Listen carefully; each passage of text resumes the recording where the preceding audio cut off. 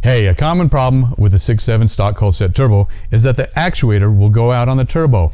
So what happens here is the housing for the VGT will get stuck due to the high carbon, high soot buildup. So you'll see it'll seize up like this one. I mean, you'll see it is froze up, seized up on me, and the actuator doesn't know that, so it'll keep trying and burn itself out.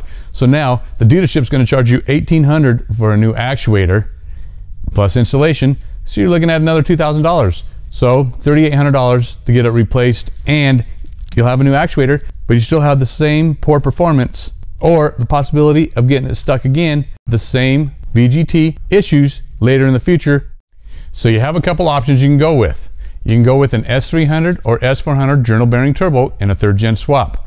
Or you can option the third gen swaps, S300 or S400 with our Turbonator VGT and bring in exhaust braking like you had with a stock Holset turbo.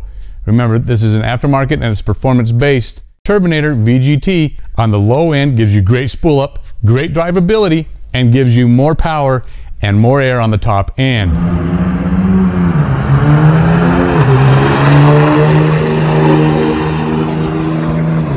If you have a problem with your stock Holset VGT, give us a call. We have some options.